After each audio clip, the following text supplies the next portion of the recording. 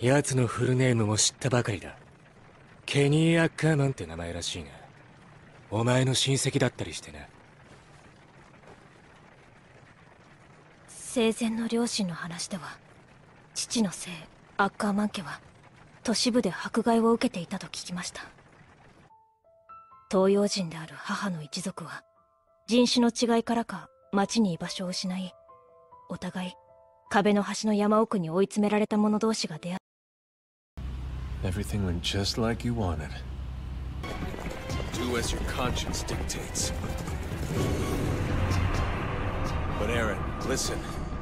You are not inherently evil. Your ability to change doesn't make you a monster.